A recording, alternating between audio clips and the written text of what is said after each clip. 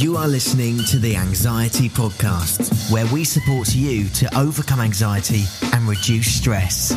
We will get vulnerable and it will be real. Here's your host, Tim JP Collins. Hello, and welcome to the Anxiety Podcast. Hopefully, you are suitably intrigued by the title of this week's episode. You should be. It's an interesting one, so stick around. I will also go into a more elaborate disclaimer for you in a moment about the language which may be used in this episode. Before I do that, I did get feedback from a few people that they couldn't see the first 25 to 30 episodes of the Anxiety Podcast in iTunes, which is a travesty. So I've been uh, in the background and fixed that and changed some some hosting stuff. So now you can see all the episodes; they're all there for you. So check them out. Any problems, send me a message, give me some feedback. Whilst you are also on anxietypodcast.com, you can get my free resources if you haven't got them yet. Help yourself. They're there waiting for you. There's also information about my online course. You can find out more about that there. And if you want to speak to me directly, find out about coaching, jump on the phone and start overcoming your anxiety, then just click on the coaching tab, have a little read through, see if it's something which resonates with you. And if it is, you can book a call to speak to me directly. Okay, so I'm going to introduce this week's guest to you. Before I do so, as you may have noticed from the title to this podcast, there's going to be some profanity in this one. So if you are offended or upset by said profanity, then maybe skip this episode. If you don't mind, then keep fucking listening. Um, this week I'm interviewing Mark Manson. He's a blogger, an author, an entrepreneur. He specializes in writing personal development um, as he says, that doesn't suck. His website, markmanson.net, is read by over 2 million people each month. Um, so he's just got some, some great insights. He kind of started in the anxiety world as well. So he, he understands our space and some of the stuff we're dealing with. Um, and we'll be talking about his latest book, which is coming out. Uh, it's available now for pre-order, but it's coming out officially in one week's time. And it's called The Subtle Art of Not Giving a Fuck. So there, I've said it, I've started as, uh, and it will continue. So uh, here we go. Let's introduce Mark. Okay, so Mark Manson, welcome to the Anxiety Podcast. It's good to be here, Tim. Thanks for having me. Yeah. Um, so we're going to get on to talking about your new book that's coming out um, in September. Is that right?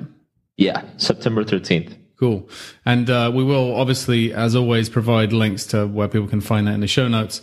But I think we should build up to a bit of a crescendo and, and talk about the book a bit later on. And maybe to start with, um, we'd, we'd love to get to know Mark a little bit better. So probably some people listening to this know who you are because you've got a pretty famous blog out there, but, um, maybe we could go even further back and talk about your own experience with anxiety and then kind of move through, um, to, to what you're up to today.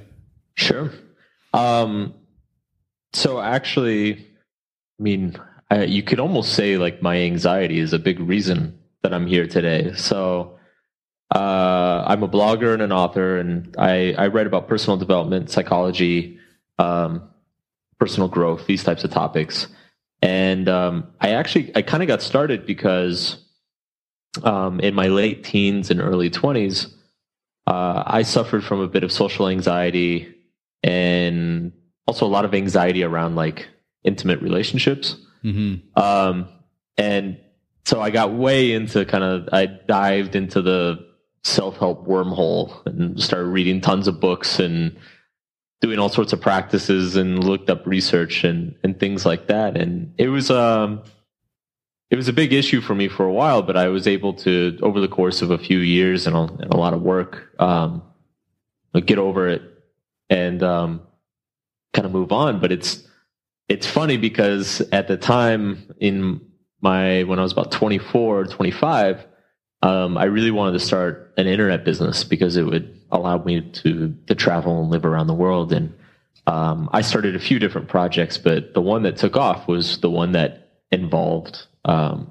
initially it was dating and a big component of dating advice um, it relates to anxiety dealing with anxiety and mm. um, and so it became a big part of my work. And then later, I kind of expanded out just to deal with life issues in general. And so, uh, anxiety is a constant uh, companion mm-hmm. with pretty much. I mean, it's funny. Like you could, there's pretty much any life problem you could throw out there. There's like anxiety is some component of it. Like it pops up in some form or another.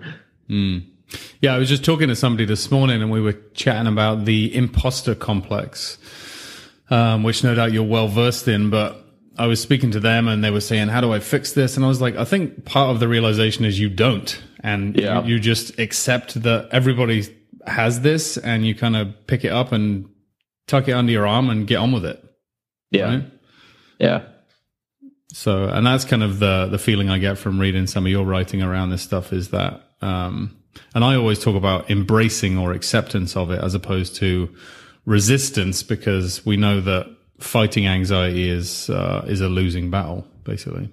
Yeah, it's I so much of it I mean one one of the big kind of realizations for for me was realizing that anxiety is kind of it's an effect, it's not a cause mm. in a lot of cases like it's it's a result of expectations. It's a result of like assumptions that I've made about a situation. And um, I think that's true and and probably uh, a very, very large percentage of cases. You know, in the imposter syndrome, it's it's like you said, there's kind of this false assumption that everybody else knows what they're doing and everybody else knows is like feels confident and secure in their and what they're working on or their expertise or whatever. And the truth is, is that nobody is completely confident and secure in what they're doing. Everybody has these doubts. Everybody's freaking out mm. sometimes, you know, and, and just that simple realization, like bringing that expectation kind of back down to earth, um, can be very liberating in a lot of ways. Yeah. Yeah. And that's kind of, I mean, what we'll, what we'll get on to talk about with the book and uh, not giving a fuck. There you go. I said it first. Um, or break the ice. Yes. Um, but yeah, it's the same thing. Like we're so embroiled in caring about what people think about us uh, and externally in the world, and I sometimes kind of picture humans walking around and we're all in our own heads thinking about the same stuff. Whereas in and and so much so that we don't even really notice the other people who are yeah. also worried about what does everybody think about me, you know? Yeah. I, uh, one of my favorite quotes ever that I've ever read in my life, um, it comes from David Foster Wallace and he wrote, uh, he said, you'll stop worrying so much what people think about you when you realize how seldom they do. And on the surface, it's a very kind of, it sounds like a very pessimistic, kind of depressing quote. Like mm. everybody's just very selfish and nobody cares about you. But I remember reading, I read that in my early 20s and it was like a bomb went off in my head. I was like, oh my God, like, you know, when I'm at a, at a party or a networking event and I'm like freaking out that, you know, I, I need to meet people, but I don't know how. And, you know, people are going to think I'm a loser or whatever. Like everybody else in the room is busy thinking the same thing you know like nobody yeah. like everybody's caught up in their own little world in their own in their own head like thinking that everybody else is focused on them when it, when mm. the, the fact is everybody's just equally focused on themselves. Yeah. Yeah, and I think that I mean we we know that anxiety isn't rational anyway, but um, continuing to consider that, and one of the one of the beautiful things that happened to me, and I've talked about this on the podcast before, but as a result of my anxious story and panic attacks and subsequent recovery and stuff, but um, I now have this, and I'm I would love to hear about what your experience is through your writing, because obviously you're very vulnerable in your writing. So because my story is public and I tell people about it, and if I meet somebody in the supermarket and they're like, "What do you do?" and I say, "Well, I help people with anxiety and I talk about it and etc." Um, that opens the door for these conversations where people tell me all of their shit. Um, yeah. People tell me what's going on for them and what that's allowed me to do is realize that everybody struggles. And it's like, yeah. before I never knew that because I never, I never s- showed any chinks in my armor. But now I'm like, yep, all this stuff happened and and uh, I'm moving on. People are like, well, actually, I've got a problem with this, or I've got a problem with my relationship, or I got a problem with my body image, or you know, it just Yeah. all, it all comes out, and that's that's a blessing from sharing is that you realize that everybody's got something going on. Yeah, for sure. So, do you see that in your kind of from people who read your stuff and and get back to you? Oh yeah, it, and it's um, it's funny too because um, you know, like I have a, I have a like a little like a video, a small video course on my site, and for for anxiety to help people with anxiety, and and sometimes I get complaints from people where they're like, "Well, is this going to help my you know my anxiety at work with my boss?" You know, and because it's so broad, like it's it's the principles are the same that there's you know there's an irrational assumption um there's very often like some sort of like past trauma or like some past like awful experience. Um and then there's a process of progressive desensitization that needs to happen. And um and this applies to everything whether the anxiety is is you know around relationships around social interactions around uh, food and body image or, or whatever. Um, and it's it's really it's there's just it's almost like there's just a few circuits in the brain that that kind of behave the same way. It's just for every single person because everybody's life experience is so different. Um, for some reason, that circuit gets kind of like broken or reshaped uh, in different areas of people's lives. So yeah, it's it's almost. Um, you know it's it's it's just this underlying pattern but the way it plays out in different people's lives is usually it's completely different sometimes Yeah. Which is also a problem because a lot of people I come across think that they're totally unique and one of a kind, and obviously they are in a lovely way. yes of course we're, we're all all- snowflakes Yeah, we're all special. Um, but anxiety isn't special. It's non, you know, it's just looking for a different situation to attach itself to ultimately. yeah Um, I want, I read something, uh, yesterday when I was doing a bit of research for this and it was talking about how you went from your desk job to being an author and being a writer and, and there was obviously no doubt some anxiety involved in making that entrepreneurial leap. So I wondered if you could talk a little bit about that. it's funny i have um i i have an article um about quitting my day job and starting my business and i actually i talk about one of my biggest lessons from that experience was like leveraging terror. Like leveraging like i talked about how uh when i quit my job and i was like yeah you know when i was like miserable at my day job and like i hate this i'm going to start a business i think i could like get this off the ground and start making some good money. Like it all sounded great like while i was at the day job. And then as soon as i quit like i woke up that first day and just completely panicked and was like my god what am i doing with my life? And um Burn the ships like the Yeah. Vikings, right? yeah and um but the the funny thing was is is i just i decided i was like well if i'm gonna if i have to be terrified i might as well be terrified working like instead of you know just sitting around in my room wondering what i'm doing with my life and and i think over the course of that i, I that that anxiety like i i was able to leverage that to um Mm. to just work like a madman and um, just push, try things over and over and over. Because it, it's almost like the a situation where, uh, you know, if when I was trying out business ideas and and most of them failed, uh, that fear of failure kind of disappeared because it was like, you know, I'm already like like it can't really get any worse. Like I'm broke. I'm sleeping on my friend's couch. Um, you know, the only the only thing that can get worse is I have to like go back to my day job or like Mhm. go ask my parents for money, and like that's awful. So if it's gonna be awful, I might as well be trying as long as I possibly can and try every single thing I can possibly try. So it was this weird situation where, uh, because the fear was there anyway, um, I didn't have this like this fear of, you know, trying to be perfect or do the right thing all the time. It was Mm. just like, you know, it's like, it's all terrifying. So I might as well just try whatever I can do. Yeah. almost in a liberating way because it gave you the freedom to you know you're sleeping Yeah. on the, sleeping on somebody's couch and it's kind of like uh, it makes me think of like stoicism and I know Tim Ferriss talks about he does a week once in a while where he'll wear the same clothes every day and eat rice and beans and just so he knows what it feels like to be poor. Um, but it gives you that grounding of like, is this what I feared? Is this the worst Yeah. case scenario? Sounds a bit like that. there there was a there's there's definitely a value of being in a situation where where you kind of have nothing to lose and um, it's funny i've met a lot of entrepreneurs and people starting out who are starting out in a different phase of their life uh, you know they're they're in their 30s or 40s they have a family sometimes they have like a mortgage uh, and I, I have a hard time relating to them. Like I, I see that I'm like, wow, I had a huge advantage because I started when I literally had nothing.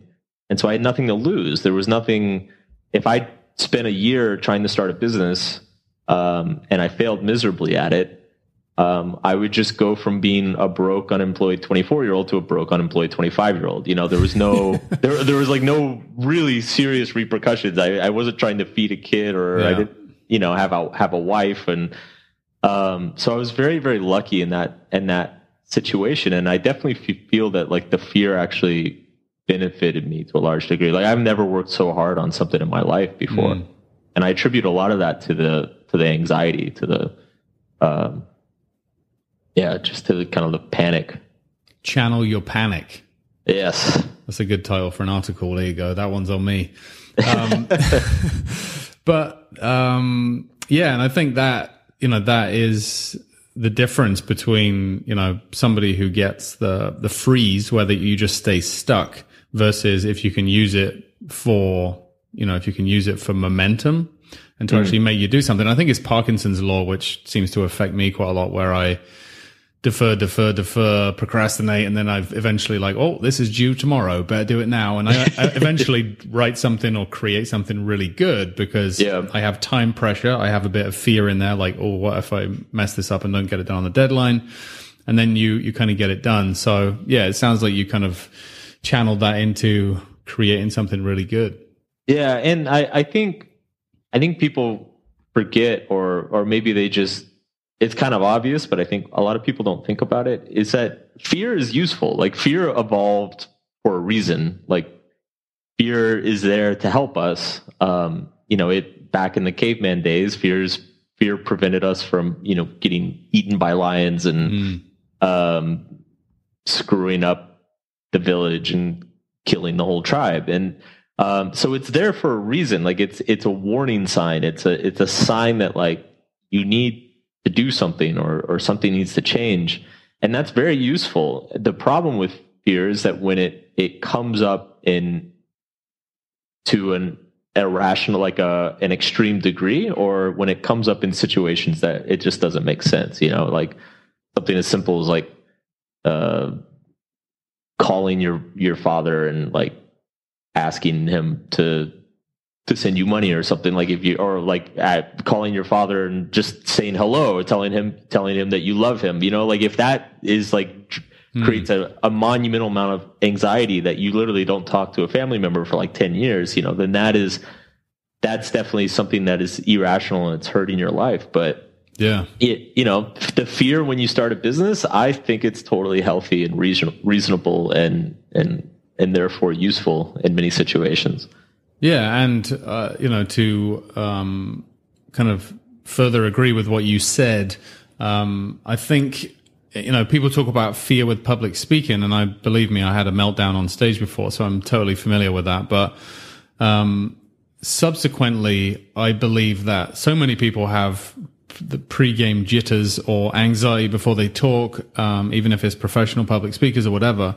Um, and I, th- I kind of think like if you didn't have any, f- in the absence of any anxiety, it would probably mean that you didn't actually care very much. Right. Um, so if you don't care about the audience or you don't care about your message or you're not passionate about what you're talking about, then, and you have no anxiety, then maybe you shouldn't be there because it means Yeah. you don't care what people think. Um, and I think what you're saying is the same thing. Like, and, and, and I've said before, like fear is a barometer of significance. yes. So if you're doing something which is meaningful, as in starting a business, you know, securing your future livelihood and you've got a bit of anxiety involved, then yeah, that's that's not a bad place to be. That's a good way to put it, and and you could even make the argument that if you're if you're becoming extremely anxious in situations where it doesn't make sense, it's probably because you're putting an undue amount of significance. You mm-hmm. know, and I look back at my social anxiety when I was younger, and I think a large percentage of it was directly you could directly attribute it to I just cared way, way, way too much what mm. people around me thought yeah. about about me. And um, as soon as I kind of like let go of that and got comfortable with the idea of, you know, it, it, doesn't matter if some people don't like you. It doesn't matter if, you know, you have an awkward conversation. Like these things are just part of life. Like once I kind of was able to internalize that through experience, um, a lot of that anxiety kind of solved itself because I realized, you know, mm. if, if you go into a party and you talk to five people and they don't really think you're that cool of a guy or the conversations are boring, like that's not the end of the world. That's not a, like a life changing event. And, yeah. um, but when you're, you know, when as like a 18, 19 year old nerdy guy who had spent pretty much his entire adolescence in front of a computer screen, like that was a huge event. That was like massively mm. life changing. So uh, I like that, like tying it to the significance. Yeah, for sure. And I think that, um, you know, as we talked about earlier, like people just uh, are so in their own heads they don't recognize, and that's why you know this this podcast is useful because um, all the stuff we talk about. Somebody who is in their early 20s finds it and listens to it, and they're like, oh, yeah, maybe I am placing too much significance on what people think about me because actually they're not even paying attention. Yeah. In a good way which is kind of freeing. And as i um one of the things that i found useful to reflect on and i don't know who said this or where i heard it from but like you know in might have been james altucher or derek sivers or one of those types of people that i read or listen to but um it was something along the lines of like in a thousand years nobody will even know who we were like they were yeah. like i don't know who my great great grandfather is yeah so yeah. the mistake you make with the girl at the bar, like it's so insignificant. And actually, actually, the the real people like it when you get it wrong. That's what yeah. you come to learn is people like it when you fuck it up. They're like, oh my God, I thought Mark Manson was like this untouchable, bulletproof superstar, but actually he's a normal guy. Yeah. He made a mistake. And it, and it, and it, just, it gets even better if you, if you're able to admit that mistake, if you're able to be like, wow, I said something really stupid. Like people are like, hey, it's okay, man. Hey, come here, give me a hug. Like, yeah. like people, it, it brings out the best in people when when we see that kind of like uh that vulnerability. Yeah, because like you said with the tribal thing, we just want to be loved, right? We yeah. just we just want a hug. That's why that's hug, why the, the superstars who have meltdowns like the you know the famous people who have meltdowns or the sports people who crumble under pressure people gravitate towards that and they they you know virtually hug them and embrace them as a community and that's why a lot of times uh, you know america being the, famous for the the land of second chances for people right but it's because people are like well they've they're human they made a mistake now i like them more because i used to think they were perfect yeah yeah great example it, of that. In some cases, it depends who. yeah, maybe not always. Yeah, a lot of the time. Um, yeah. yeah, and I, and I think like one of the uh, I have I had Dave Asprey of uh, Bulletproof fame on uh, a few weeks ago, and and one of the distinctions he made, which I just think is f- fantastic for people listening, is he kind of like talked about the difference between um, I, again, this ties back to what you said about self-preservation. As humans, without anxiety, we would have died out as a species. But he yeah. said his quote was like, "I can feel the symptoms in my chest. I just don't believe them when they tell me to die or tell me that I'm gonna die." Right? Yeah. Um, so it's like, and I think that's the the evolution of anxiety for me. Now I'm like, oh, I'm just about to do something significant, meaning that's good. It's significant. I feel this feeling in my stomach, but I know that it's not the end, right? Right. Exactly. Um, and and when you were talking about public speaking earlier, like that was the first thing that came to my head because I used to get incredibly anxious giving talks years and years ago and um, at this point, it's it's funny. The anxiety is still there. The exact same anxiety. It's just my reaction to it is completely different now. It's like mm. now I have a very calm and accepting reaction to it. Uh, mm. like, just like you said, it's like I sit backstage and I'm just like, "Yep, about to speak again. This is what happens," and Part you just go with it. Yeah, and I, I've done like talks on this before, but like in, you know, you go people who end up being successful speakers are people who feel that and then they turn that into excitement and energy and exuberance and all these no. great you know things that you can you know Mark Manson on stage where you have some adrenaline through you, running through your veins is way more interested than Mark Manson who looks totally chilled out and isn't doesn't yeah. care like it's yeah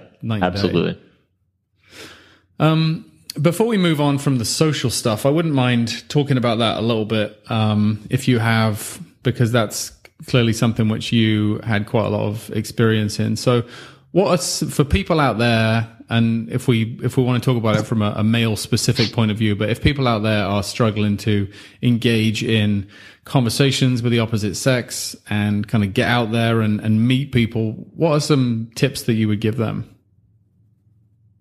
I generally recommend an approach. I mean, one thing I notice with people who have, uh, particularly in the dating arena, people who have a lot of anxiety in terms of like meeting people. Mm. It's there's kind of there's two problems that are, I guess, exaggerating that level of fear. Uh, because like public speaking, it's normal. Like it's normal to get nervous when you talk to an attractive person. It's normal to get nervous before a date. Like that's a healthy fear. Um, w- when it gets unhealthy is when it turns into this like huge, huge deal that consumes you.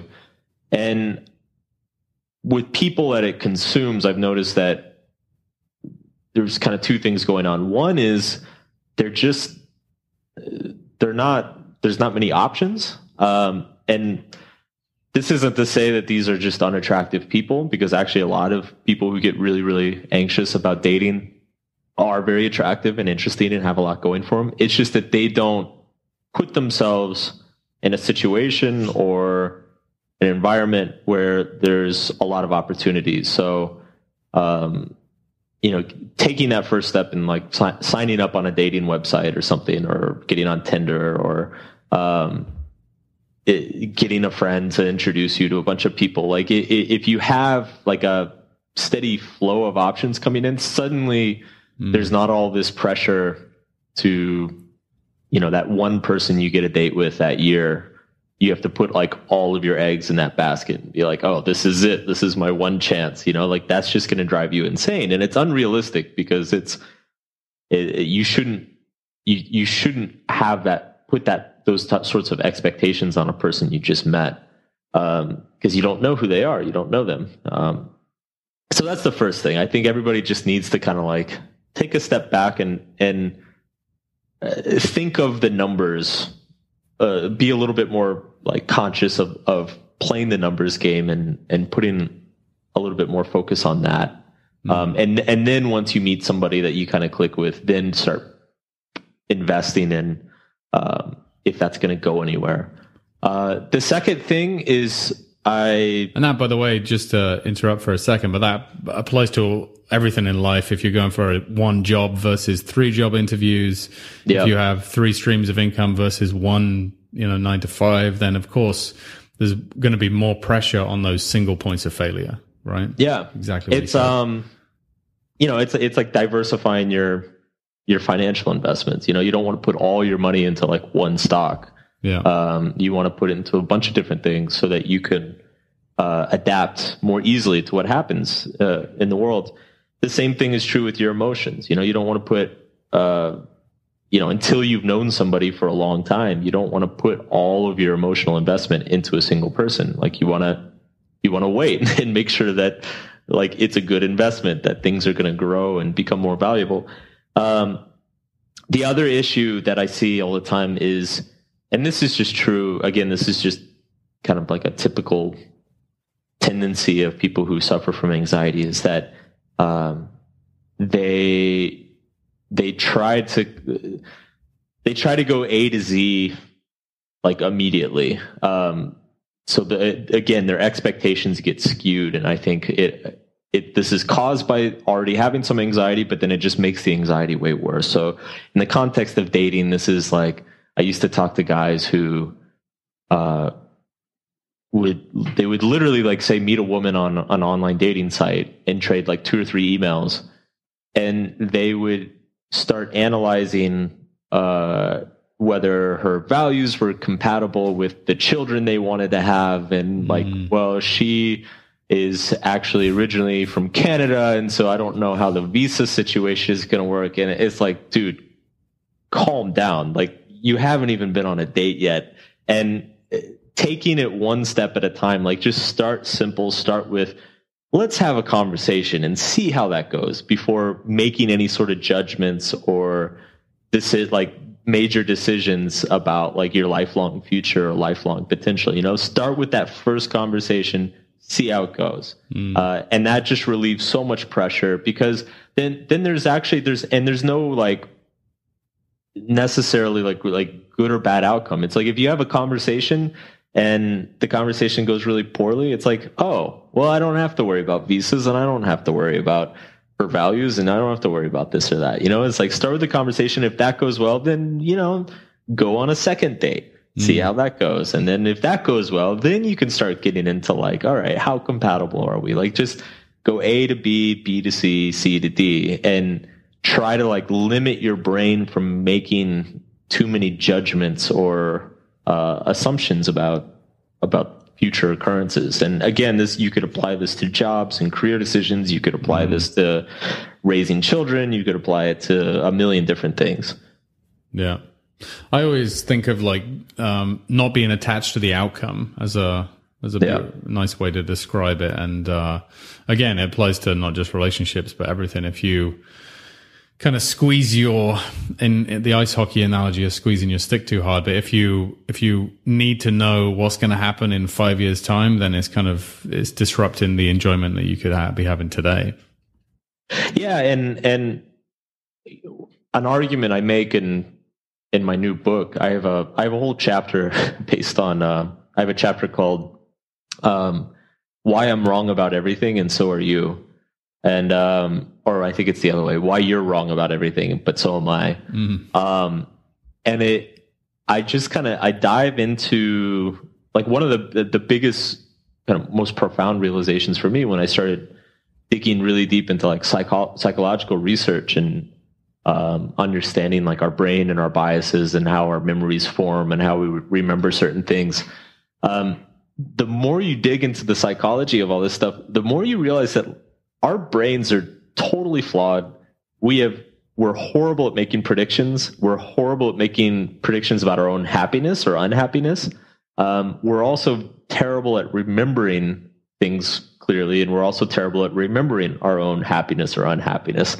And uh, like when people discover this, a lot of people I write about this this type of thing on my site, and I get a lot of emails of people who kind of get freaked out. They're like, "Oh, well, if we don't actually know anything, like what the hell are we supposed to do? And um, to me, it's a very liberating thing because if you take just take that example of that that guy who's trying to score a date and he's like constantly worrying about, you know, whether this woman is going to be compatible with him in five years from now, and and mm um, you know, what does this mean? Does this mean that uh, if they get married, it's not going to work out in the long run, or if they have children, you know? And it's the thing is, is like you don't even know what you want five years from now. Like you, your brain, all the assumptions your brain is making are incredibly flawed and just poorly informed. And so that vision you have for that relationship you want to have five years from now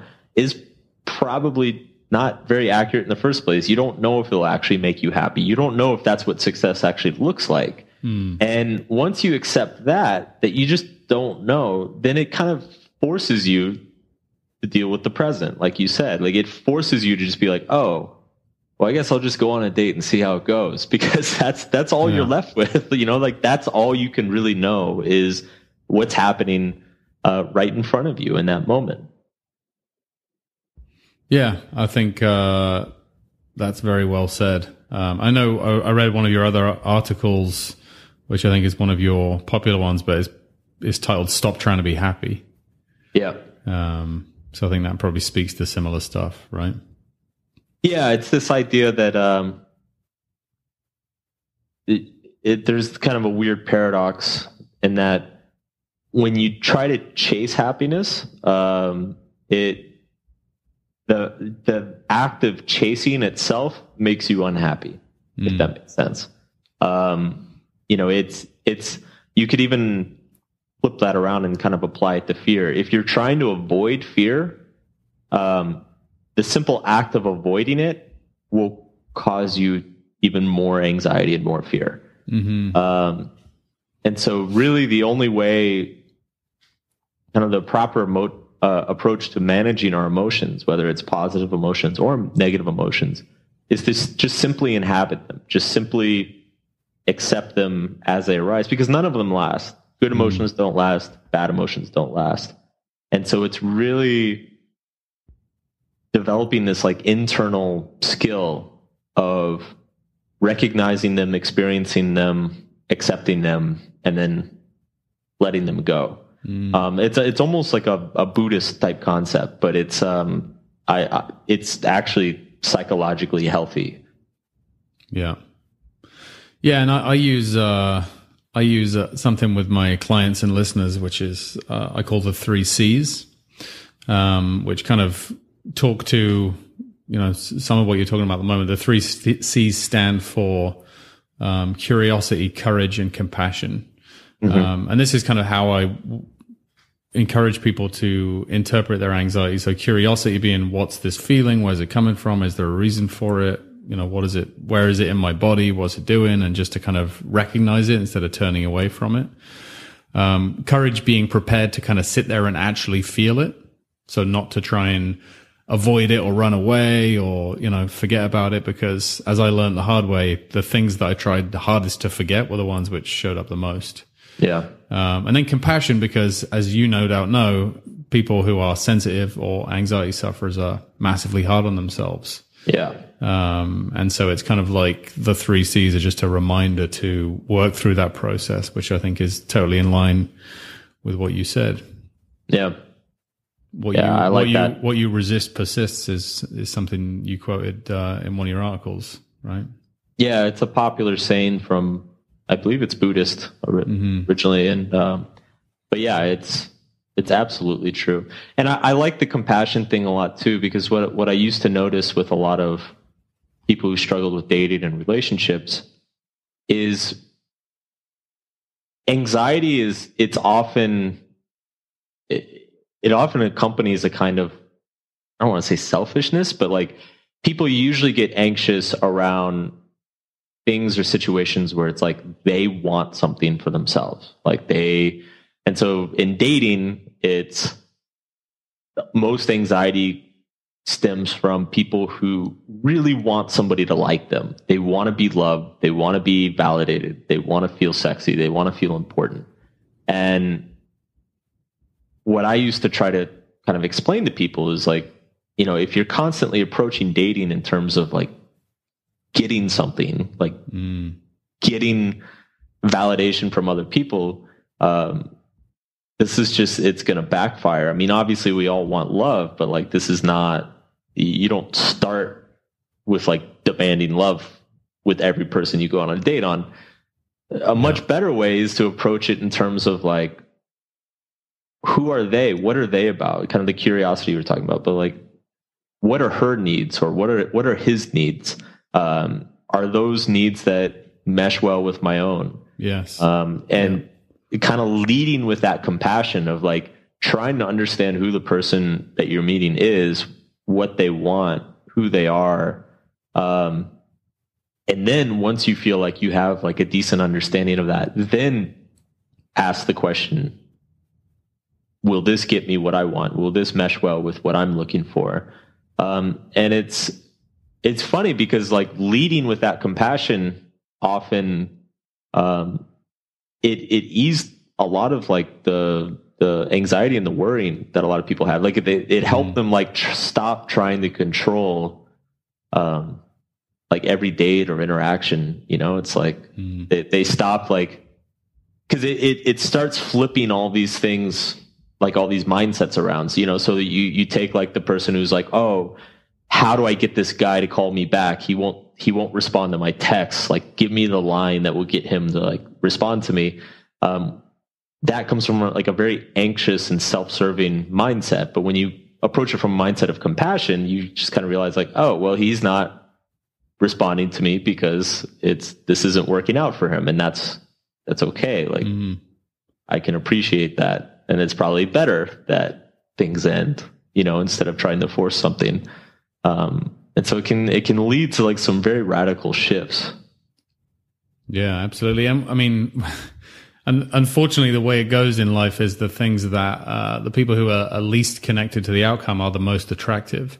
Whether that is whether that is again relationship or whether it's a business you're trying to buy or a job you're trying to get. If you don't give a fuck, which is kind of what we're talking about today, um, I don't swear a lot on my podcast, so people are raising eyebrows, but that's okay. Um, uh, yeah, if you don't care, then and you don't need it, and people are gonna be more attracted to you, pay you more money, and you'll have more opportunities. That's just the way it goes because th- there's a huge power in not being attached. Um, but I think the other thing you said, which I love, is is so on point, is stop making it all about you Yeah, right? Get out of your own head. Um, and this again comes to the public speaking analogy, but somebody gave me some advice, which was like, go on stage as though somebody in the audience needs to hear your message. Stop worrying about whether you are, you're sweating or your heart's beating fast or you feel like crap. Realize that if you share your message with, and you can impact one person watching or listening to this. And I applied the same thing when I was nervous when I first started the podcast um, you know, now fast forward a year later and I get messages from people saying how it's changed their lives. And so if I never got over that myself and made it all about me, I, Yeah. it, it wouldn't have had the impact. So I think absolutely 100% on point with what you said is if you if you look to serve, look to support, look to give to other people, um, and you know if you do that, then you, you you're less in your own head about what's up with me and more about how you can help them. And and guess what? If you help somebody else, it also helps you. Well, and and that's it's funny because I've never thought about it this way, but I mean that's a that's actually a very accurate approach or like a very realistic approach to public speaking, which is you're never in any audience you speak to. I mean, even if you get up there and just nail it and kill it, like you're never going to have 100% of the people love what you're saying. Like there's always going to be people in the audience who are bored or uninterested and and it has nothing to do with you. You know, maybe they're having a bad day, maybe they're Mm. they didn't they didn't sleep well last night. And you're always going to have a, a percentage of the audience that loves whatever you say. And and so it's um again it's it comes back to kind of these irrational expectations in that I think and I see this in myself too. It's you know when I when I get really nervous or anxious about a public speaking gig, a lot of times I have this this all or nothing mindset in my head. It's like, oh, either the audience is going to love me or the audience is going to hate me. And and the truth is is that uh, pretty much no matter like what I do or how good my talk is, there's going to be you know thirty or forty pe- percent of the people are going to love it, or thirty or forty percent of the people are going to hate it at the same time. Mm. And so it's really nice to just remind yourself that it's like, okay, no matter what happens, you're there. There's, you're there for the, like, like this, this guy who gave you advice said, like, you're there for the people who need to hear you. And if the other 80% of the audience is bored or doesn't like it, you know what? That's worth it. It's fine because you're, Yeah.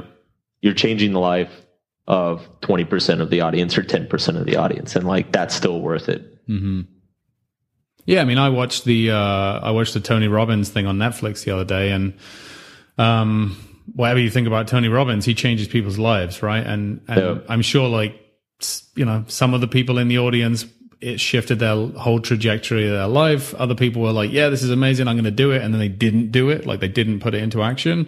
And other people walked away thinking, "Well, he can do that because he's six foot six and he's a multimillionaire," and they just didn't buy it, right? Yeah. Yeah. Um, you probably got more people in his audience who are actually going to be affected by it because they kind of know what they're signing up for. Um, but yeah, that's it. I mean, you know, if you if you did a speech to a hundred people today, and in five years' time, some guy came up to you and said, "I saw you speak five years ago, and since then I've lost fifty pounds, started a business, got a family, regained my comp," like that would be enough, wouldn't it? Yeah, it'd be worth it. Even if the other 99 hated you and thought you sucked, you know, Yeah. like that, that would be worth it.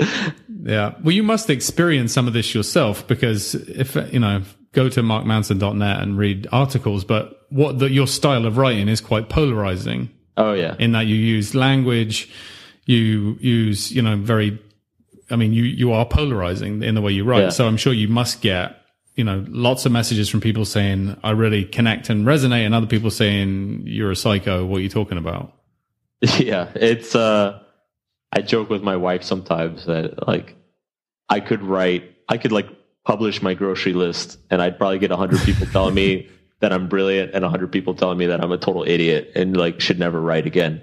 And uh like it's it's it's reached the it's kind of reached that point, you know, like a lot of times people will ask me, I mean really they'll ask me they'll like you know your audience is so big these days like does that intimidate you? Do you get worried? And it's funny it's actually kind of the opposite um it, because you- just the numbers are so large that it just doesn't even feel real anymore. It's it's Mm. because it is true it's like whatever article i write a hundred people are going to tell me it's the most brilliant thing they have ever read, and a hundred people are going to tell me that I'm a, a moron and that I should, you know, jump off a bridge or something. And Wow. um, and it, yeah, it just stops kind of meaning anything at a certain point, and it, and it's in a very weird way. This popularity has uh, it's kind of forced me to get back to really kind of writing, a, like getting back to what inspires me individually, like um, because it's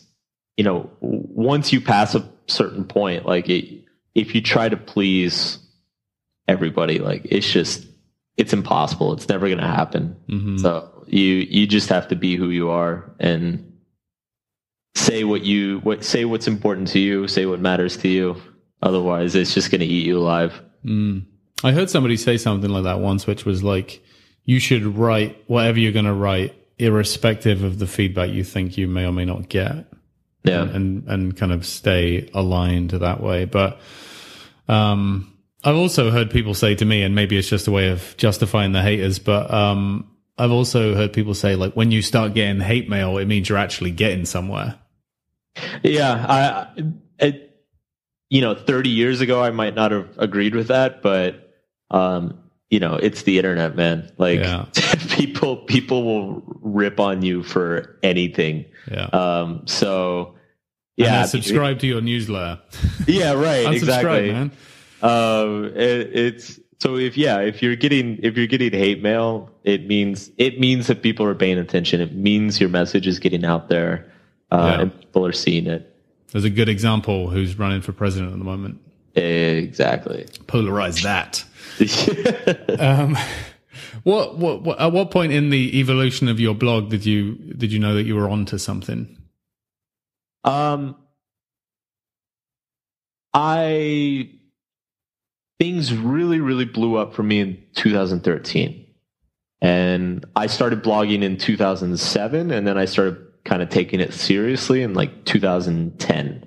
Mm. Um, so, and then 2013, things really exploded, and it was around that time that I I kind of shifted.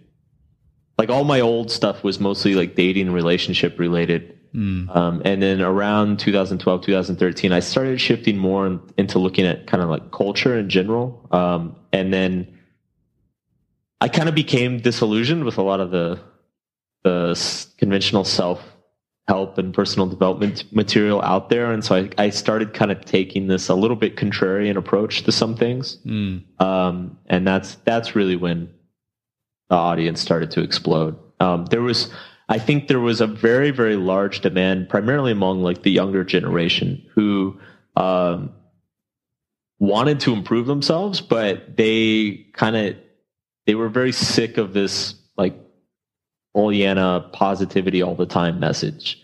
uh, it felt unrealistic to them. It felt it felt kind of bullshitty for them, and I think I struck a chord because I was still talking about improving yourself, but I was talking about it in like a very like kind of gritty and, and realistic way. That you know, like life sucks sometimes, and you know, that's just like how it goes, and we need to learn how to deal with it. Like it's we are limited, we are fallible. Um, sometimes no matter how hard you try you don't achieve your dreams and that's okay. Like you need to get used to that and uh, it doesn't mean you shouldn't try. It doesn't mean you shouldn't still strive for things. It, it just means that um, we need to get more comfortable with um, with just how kind of shitty things can be sometimes and a lot of people that makes them very uncomfortable to like think about that or talk about that but um, apparently with a lot of people like that really struck a chord especially i think after you know with the like 9-11 and the economy crashing in 2008 and all the stuff that this generation has seen um, i think it, it really it's like struck a chord with people. And it, and it's what i believe very strongly. So um so yeah. Yeah. And, you know, I think um, part of it is is that, you know, you were telling the truth yeah and people gravitate towards the truth because I, I mean, I've, I've I have to turn off Facebook periodically because I just see so many of these messages where it's like, get up and believe in yourself and shoot for the stars and you'll make six figures a month, and it's like, well, hang on a minute. Um, And then you look at stories like yours, and it took you, depending on which which um, kind of date start date you look at, it took you three to six years to start having big success. Um, and uh, that you know, uh, there's a great yeah and, and and i mean and there's half a dozen projects and businesses that that i tried to start and i failed at. And um and the thing is is even though i am like quote unquote successful big successful whatever now um there's still days i wake up and i'm like i don't like doing what i'm doing or there's parts of my job that i still hate and there's like and there's still anxiety like that imposter syndrome or there's there's another anxiety that pops up a lot of, for me the last year which is like what if i've peaked like what if like 2014 2015 was like peak mark manson and it's all downhill from there yeah. um like it's is classic it never- though. You never win. like yeah you never win and and it's it's funny i talk about this in in the beginning of of my book as i say i say that problems never go away. Like you're never going to have a life without problems. Problems just get upgraded. They get solved and they get upgraded. Like you, there's never a, a problem free life. And um, the argument i make is that is that happiness actually it comes from solving and improving upon our problems. Um, it, and if you avoid your problems, um, or if you don't take responsibility for your problems, then you're just going to be stuck. And um, and unfortunately, I, I feel that on a lot of aspects of our culture and a number of aspects of the, the self help industry, uh, whether intentionally or unintentionally, they encourage people to avoid problems rather than solving them. Avoid them through you know kind of delusional beliefs or irrational expectations or just kind of like flat out narcissism.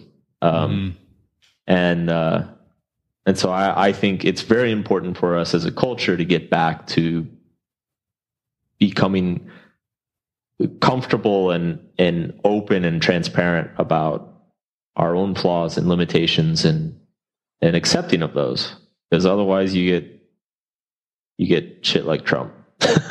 yeah.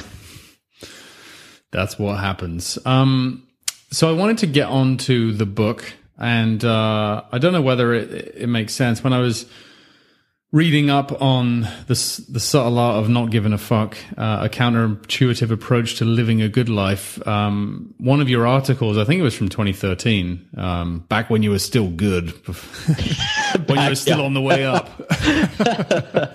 um, but I liked in that article you had three subtleties. So is it is it worth going through those three and then we can kind of expand on that? Sure. Okay. So subtlety number one is, and again, excuse the language, I'd never really feel comfortable with this. Not giving a fuck does not mean being indifferent. It means being comfortable with being different. Yep. Yeah, I, and this is a big issue. Um, so when I wrote the article and also when I wrote the book, it's I love the title. I think it's hilarious. Um, it's very like my style is very irreverent. It's very kind of in your face, um, and I like to use. I mean, basically, the the whole idea of not giving a fuck. It's actually it's a tool I use. It's like a a word, a linguistic tool I use to just basically get people to think about what they care about. What what do they care about? What are they choosing to find important? Mm. Um, what is significant to them? And then perhaps maybe they should choose something else. Um, because like what we were talking about with the anxiety, um, that it comes al- comes along with what you find significant. Um, if you're if you're continually finding anxiety in areas of your life where it doesn't make sense to have anxiety in those places, um, it may be that your values are out of whack. That you're really caring way too much about mm. something that doesn't deserve to be cared about that much. And so that's where the idea of like not giving a fuck comes in. It's a I, I joke throughout the book that it's the most important skill you can learn learn in life is to choose where you place your fucks, and mm. uh, because you have a limited amount. And um, so the first, you know, it, to to get into all that, the first thing you kind of have to do is is dispel with everybody's kind of immediate understanding of not giving a fuck, and that is of this like too cool, indifferent guy who like doesn't care what happens and is like too cool to care about anything. And um, the truth is that you know that may that may like look cool in like cheesy movies or cartoons, but like in real life, it's people who are indifferent. It's they're actually not indifferent. They're just protecting themselves. They're hiding their values. They're hiding what they care about um, because they're afraid. They're mm. anxious. Um, and actually one of the uh, I've written on my site before, like one of a very common defense mechanism uh, to anxiety and fear is is indifference, is convincing yourself that you're indifferent or you're bored or you don't care when actually you do. Mm. Um, and so that's that's the first subtlety is just kind of just get out of the way. Like, okay, indifference is actually it's not cool. It doesn't it doesn't work. Uh, you know, we all have to we all have to care about something. We have to give a fuck about something. Yeah, except for Tim. Tim yes, doesn't, Tim doesn't give a fuck. Tim, Tim doesn't give a fuck about anything. well named. Uh, for for people listening, if when you're on the Mark Manson website, if you look at the, I'll link to the not giving a fuck article, but there's a picture on there saying everyone just wants to be liked and accepted except for Tim. Um, so I will link that and you can have a look. All right, moving on to um, subtlety number two is n- to not give a fuck about adversity. You must first give a fuck about something more important than adversity. Yeah. So this is this kind of lays out one of the core themes of the book, which it comes back to this whole chasing happiness thing, uh, which is people's starting assumption um, in their life is often just like, I want to feel good. I want to be happy. I want to be successful. I want to feel great all the time. And that's a very innocent and understandable desire. I think we all want to feel good all the time. We all want to be happy all the time. Um, but the truth is, is that it, it just, life doesn't work that way. Um, as I explained later in the book, and I, it, and I said earlier, is like problems never go away. There's always problems there's always struggles. Um, and so instead of trying to avoid your struggles, you should choose which struggles you think are worthwhile. And so mm-hmm. that's what this subtlety means is that um, you can't feel good all the time. There's going to be problems, there's going to be unexpected issues. So you need what's most important is choose choosing something in your life that you care so much about that you're willing to struggle for it. Mm and I mean, you can you can even you can even apply this to anxiety. It's like it's uh, if you choose something more important than whatever makes you anxious. It's like what we were talking about with the public speaking. It's like if you knew that one person in that audience, you were you were about to change their life, like that's way more important than how you feel at that moment. That's way more important than you being nervous or like mm. if people clap for you or if uh, or even if you get invited back or get a bad review, like that changing that person's life is way more important than that. And so yeah. that once you care about that and prioritize that, um, interestingly, like the anxiety, a lot of the anxiety goes away, or like it, it becomes much easier to manage. which is in line with not making it about us for sure. And uh, Yeah. it's interesting because at the moment, me in my in my little life, I'm just about to embark on some a bit of a nomadic experience, which I think you've done in the past. Uh, I'm going to travel with my family for a bit and uh, and still kind of podcast and coach and stuff on the road, but just. I've, I've always wanted to travel and I kept deferring it. And eventually I was like, let's just go now and we'll, we'll just work around it. Right. Yeah. Um, but interestingly, and this may be back to salty one about um, being comfortable with with being different, is that a lot of the people I talk to about it, they're like, "Oh, where are you going? And and how long are you going to stay there?" And I'm like, "I don't know. Like I booked the first place, and then if we like it, we'll stay longer. If we don't, we'll move on." And that seems to like that seems to freak everybody else out apart from me. I'm like, I'm like, uh, you know, you can book a house and you can rent it and it's fine. And they're like, that's irresponsible. but I think that's a reflection of them feeling uncomfortable with it more than Yeah. anything, right? It's interesting. Yeah, because it's something they can't imagine for themselves, and so it's it's much easier to just you know judge you. yeah, which is fine. Uh, I got broad shoulders. Um, subtlety number three: we all have a limited number of fucks to give. Pay attention where and who you give them to. Yes. So this comes from the fact that, uh, I mean, both in terms of common sense, but also a lot of psychological research shows that, um, you know, we have a limited amount of attention and focus that we're able to give, like mental focus. Um, we have a limited amount of time in our lives. We have a limited amount of energy each day. Um, so in a sense, our fucks are finite. You cannot care about everything equally. It's just, it's just psychologically not possible. And so that, that forces us to start prioritizing certain things over others. Um, and that prioritization is probably, uh, one of like one of the most important things you can do in your life is is like being aware of that prioritization and being able to change it. Um, and so that's essentially what the rest of the book is about. Yeah. Which is, I mean, I I feel this so much in my own life because, uh, you know, working on from a an entrepreneurial pursuit point of view, I started working on the anxiety stuff, and then people are like, "Oh, you should expand into stress, and you should do businesses, and you should do this and that." And I, I don't, I don't know why, but the, the best advice I ever got was just to focus on one thing and Yeah. and and really build this community and build support for these people and as a result of sticking to that and uh, and avoiding my natural you know tendency to shiny penny syndrome and start a different project and do something else. This is one of those ones where I've just been laser focused and and it's it's paying off. The message is getting out. More people are listening. The word is Yeah. spreading. But it wouldn't have spread if I started saying well I do you know I dabble in anxiety. I also do a little bit of stress and a little bit of time management and a little bit of procrastination. No because people want to be drawn to something where they have an affinity with it. Um, Yeah.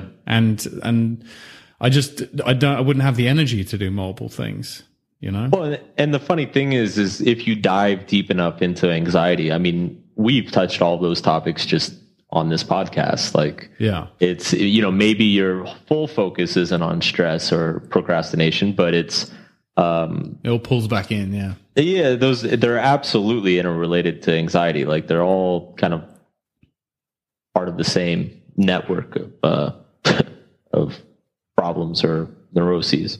Yeah. Well, I think as you've said a couple of times, like it's all tied together. Um. Even the traveling thing, like all of these things. uh, Would I do that if I was anxious and afraid of scarcity in finances? Well, no, I wouldn't. Um, so it's taken some work to get to a place where I'm prepared to be a bit more, you know, f- footloose and fancy free. You know. Yeah, yeah.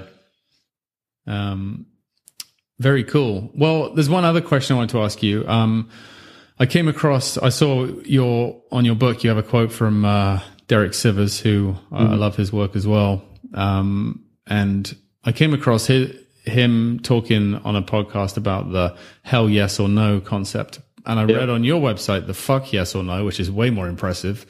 Um, I just wonder. way more vulgar, way more impressive. yeah, there you go. Polarizing wins. Um, did you? Was it something that you picked up from him, or the other way around, or was it just serendipitous?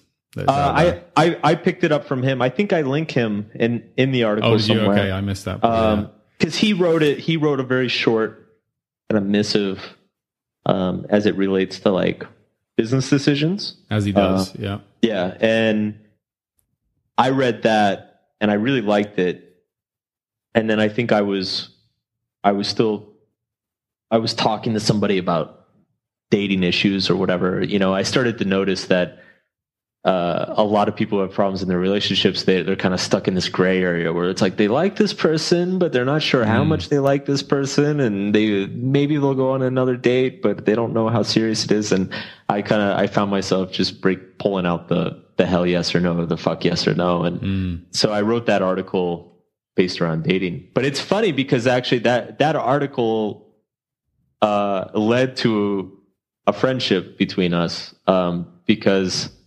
it I linked him in that article and then that it went crazy viral like hundreds of thousands of shares. Mm. And so and so he got this like mountain of traffic Right. um, and he contacted me and he was like, dude, this is awesome. Like, he's like, I'm really flattered. And then he, he started reading a bunch of my stuff and really liked it. And we started, we ended up meeting probably six months after that and, uh, just hit it off really well. But yeah, he's a really cool guy. Really, really nice yeah.